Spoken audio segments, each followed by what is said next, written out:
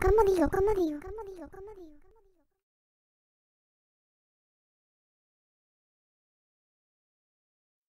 Añá.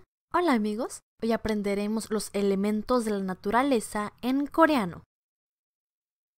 Tierra se dice tan, tan. Agua se dice mul, mul. Fuego se dice pul, pul. Aire sería